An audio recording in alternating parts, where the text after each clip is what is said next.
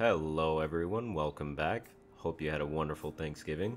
We whipped up a special something something for the holidays, and today I'll be showing you how to configure a RAID 5 array using the iDRAC Lifecycle controller.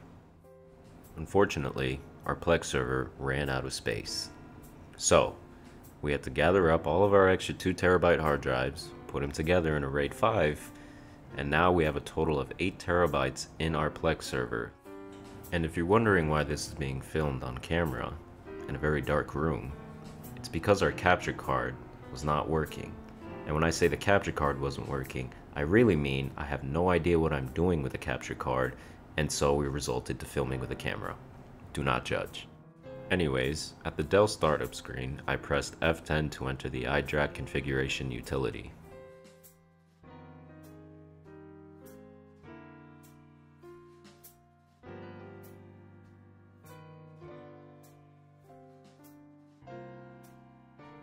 These startup times are slow, so just uh, bear with me for a little bit, will ya? The real nice thing about having a RAID array is that they have hardware failover, meaning that if one drive decides it wants to cease to exist, we can just swap him out with a nice healthy drive and discard the other one, because he no longer works, and he works, he's been swapped. Well, if you want to, you can go ahead and grab yourself a hot cup of cocoa Put some whipped cream and marshmallows, maybe a little bit of cinnamon on top. Just relax, because this is gonna take a while.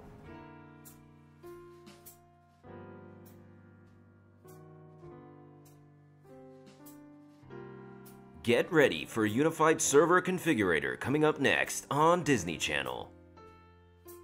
And here we are, finally arriving at the Unified Server Configurator. We can begin by heading down to Hardware Configuration, where we'll find tools to set up our RAID array.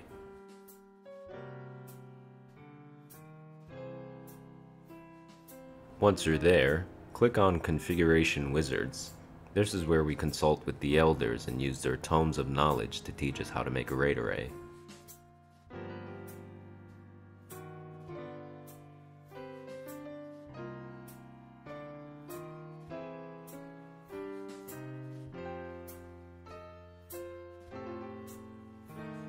Here, you'll find the RAID configuration screen. As you can see, we currently do not have a configuration set up, and that we have a PERC 6/i integrated RAID controller installed into our server.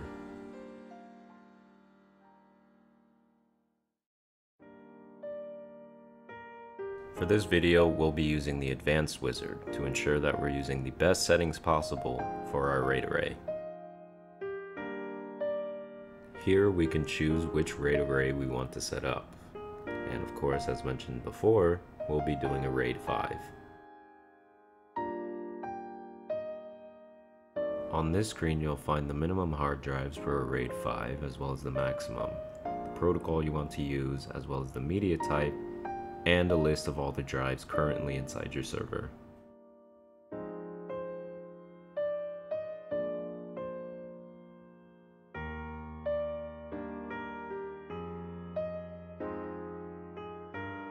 For this next part, I didn't want to get into too much detail about the read and write policies, so instead of rambling on for 10 or 12 minutes, I included some snippets of information just for your curiosity.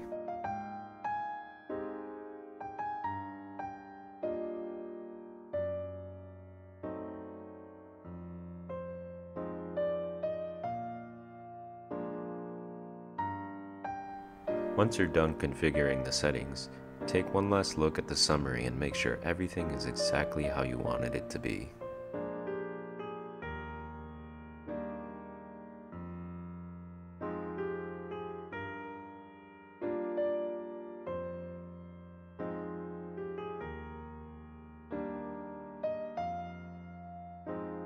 Once you're finished, you can exit the utility and then boot into your server.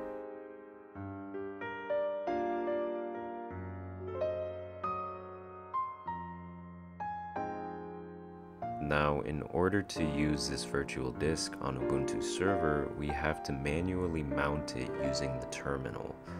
Um, I do not have film of this, however, if you would like to see how to do that, there are guides online to do it, or you could just, you know, ask for another video tutorial, that'd be nice too. Now, we had a little trouble transferring all the movies from the original standalone hard disk drive that we had to the new virtual disk. Uh, so we had to buy a toaster-like device that would read the disk and use an application that would also read the contents of the array and then we were able to access all the movies that way and transfer it into our new virtual disk on the server. And as you can see, everything ended up working. We have an 8 terabyte virtual disk with over 300 plus movies transferred over to it, and plenty of room for more movies to come.